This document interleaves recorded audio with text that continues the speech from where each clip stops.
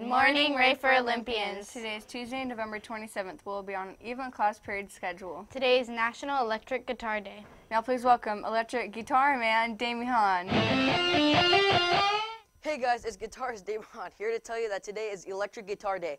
Electric guitars are totally cool.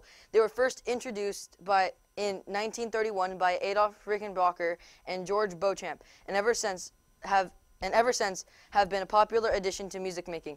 Without guitars, there might not be jazz, certainly no country, or my favorite old school rock and roll.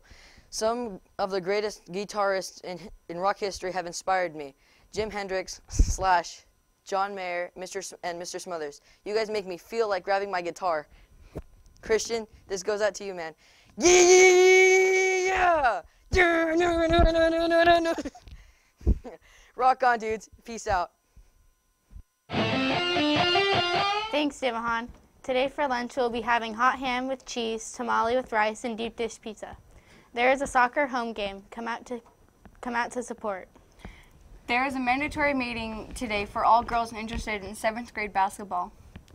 Anyone interested in trying out for basketball must have a permission slip turned in to Mrs. Beck. See Mrs. Beck for any further information. Today's color for the Huevember Challenge is dark green. And now, a shout out of kindness is Miss Scott, you're awesome. And shout out to Bella Caldera for always being a great friend. Now please stand and be respectful as your teacher leads you in the flag salute. I'm Riley. And I'm Hayden. And you've just been torched.